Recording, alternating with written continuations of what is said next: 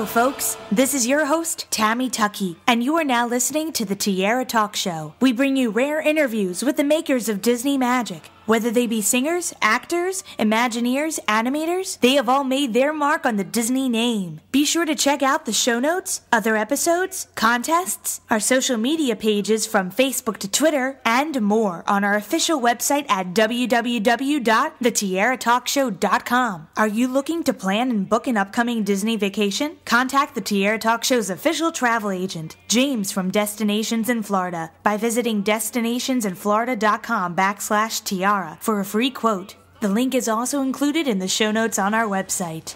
All guest opinions are theirs and theirs alone and do not represent the opinions of the Tiara Talk Show or the host. The Tiara Talk Show is not associated with the Disney Company. Thank you for tuning into this week's episode. And from all of us here at the Tiara Talk Show, have a hoop de doo day.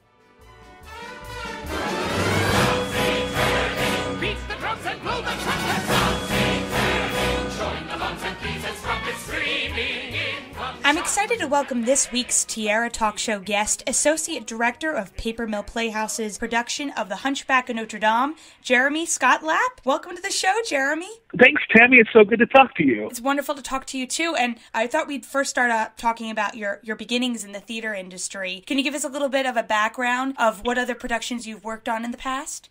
Sure thing. Yeah, I actually began as a performer when I was about five years old. I grew up in San Diego, California, and um, worked with a company called CYT and did shows all the way up until I was about 18 years old, and then kind of made my way into the directing side of things and um, have been working professionally for about seven years now, um, doing a lot of regional work and stuff. I got my start out at La Jolla Playhouse, where um, Hunchback actually started about seven years ago. And my first show out there was Xanadu.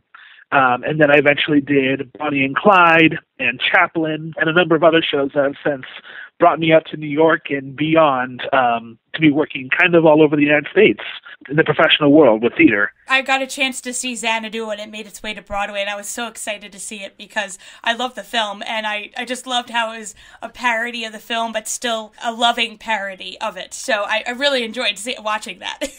It, it, it was so. We had such a big, a fun time with that show. I mean, I got to work on it with Christopher Ashley, who directed the Broadway run, and he's the uh, artistic director out of La Jolla. Having the, the show work on with him was just such a joy, and it was really a labor of love and a beautiful piece. and so now you're working on The Hunchback of Notre Dame, which is one of Disney's films. I feel like it's one of the black sheep of their films sometimes uh, because it does deal with a couple of different topics, a couple of different subjects that are very controversial, but it, it calls back right to Victor Hugo's original novel called The Hunchback of Notre Dame. I remember I got to speak with Stephen Schwartz about three years ago, and one of my questions was, when are we going to see Hunchback uh, come to the stage? Because it would be wonderful to see it make its way around and make its way to Broadway.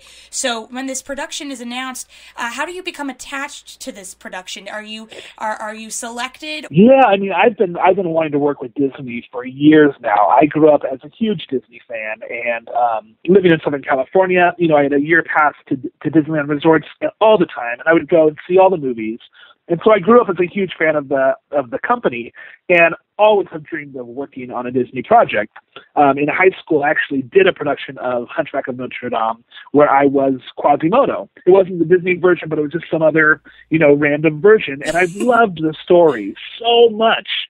And so I think by luck, I started working with um, this director named Scott Schwartz about four years ago. Um, I kind of we kind of did, did a cold call, and I ended up being um, something someone he wanted to work with, and so we joined forces about four years ago. And at the time, um, there wasn't any talk about Hunchback, and so it's kind of cool how things have kind of come full circle, and now here we are today, you know, working on the second incarnation of the U.S. premiere of Disney's Hunchback of Notre Dame. And it's so fascinating because what we talked during the intermission, because I got to see the show maybe not last week, but the week before that, and I kind of brought up the subject about the gargoyles because I was told that they they have a different spin to it. And I didn't want to read anything into it because I wanted to go there with a fresh, clean slate. Now I, d- I don't really want to get into spoilers because I know some people cannot see Yeah. the Paper Mill Playhouse production. So I'm just going to be uh, kind of discreet with asking when you're deciding differences between the original film.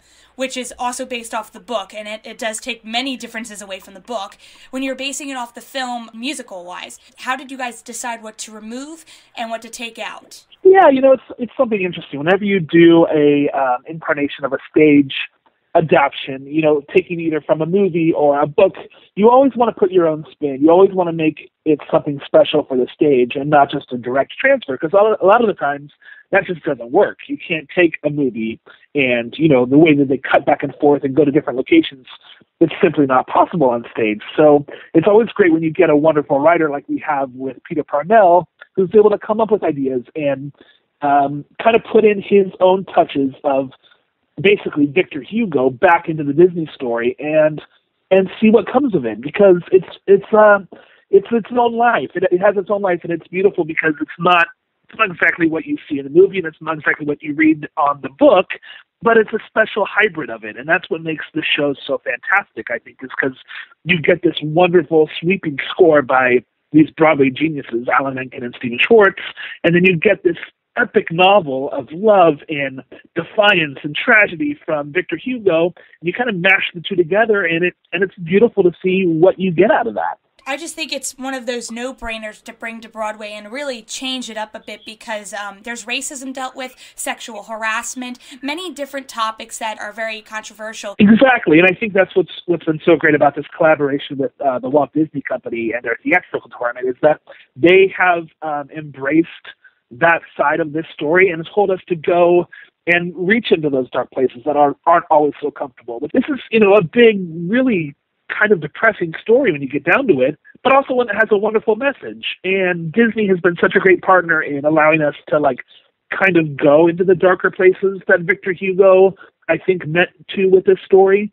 And um, we've had a great collaboration with them back and forth as to, you know, maybe we should lighten this up a little bit. Maybe let's take this a little bit darker and finding that nice balance between um, the two. It's great every night because I'm still at the show quite often now that we're open. Um, and we're not really changing things at this point, but we're we're keeping an eye on what you know, if any things that that might not be reading clearly or things that we think if we had another chance to put this up that we could make better, uh, and just to see gauge the audience the audience's reaction throughout the show, and their reaction has told us so much already. You know, from La Jolla to now Paper Mill, that it's been um, a real joy to kind of collaborate with them and see what the audience is asking from the piece.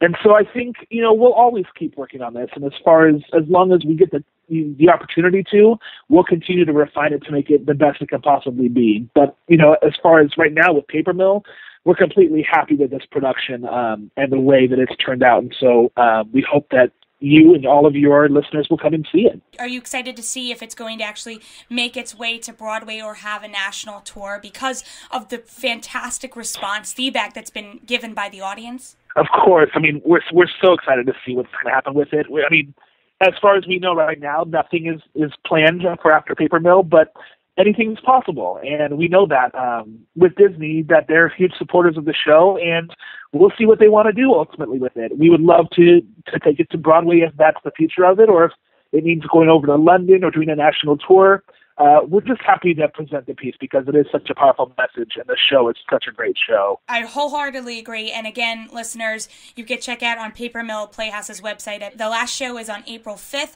but hopefully we might see more of the show either in a national tour or Broadway tour. But I have three more questions. There are Disney themed questions I always ask each of my guests that come on the show. I call them my Fab Three questions. So we'll start. I know. We'll start with we'll start with the Donald one. So as a child, what Disney film would you always like to watch over and over again? I had two, and I guess one of them is kind of obvious. One of them was Hunchback of Notre Dame. I just loved the score. I loved the story, the message of redemption and hope, and the outcast. I immediately connected to. And the other is uh, Beauty and the Beast.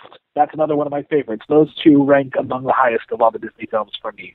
And our goofy question What Disney character do you think would be your best friend if you met them in person? Oh my gosh, best friend. Who would it be? That's a good question. You, you stumped me here. You know what? I'd have fun with Tarzan. Tarzan and I would be really good friends. It's all about adventure and kind of like going out on a limb. And I feel yeah. like I feel like swinging around the trees and just having that carefree life would be a lot of fun. Phil Collins music just following you around everywhere. Yes. Yeah, I'd be okay. I'd be okay with that. And our Mickey question if I asked you to name any Disney song at this very moment, what immediately comes to mind? Part of Your World. Such a beautiful song. And uh, that longing of hope to, you know, find your place in the world is just a beautiful song and kind of fits in with Hunchback and what Quasimodo's looking for in his life. And it's uh, it kind of comes full circle there. Thank you so much for coming on the show, Jeremy. I, would love for people to follow you as you're going on this journey as an associate director with this project at Paper Mill, The Hunchback of Notre Dame, which all listeners should check out at papermill.org. But if you would like to plug the Twitter handle and website. Yeah, absolutely. My Twitter handle is jscottlapp, L-A-P-P, dot com.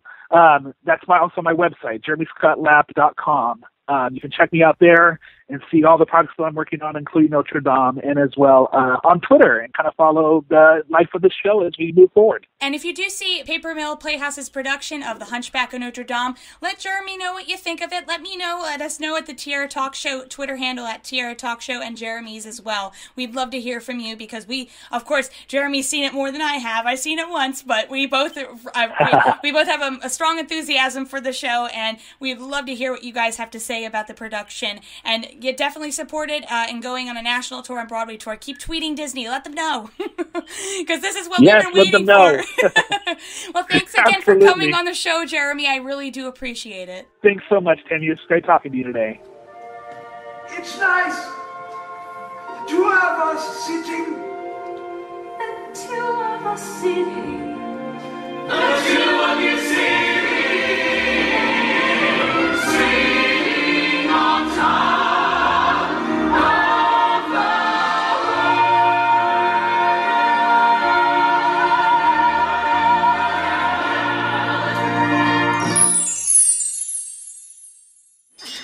almost as well as a man. Funny. I was going to say the same thing about you.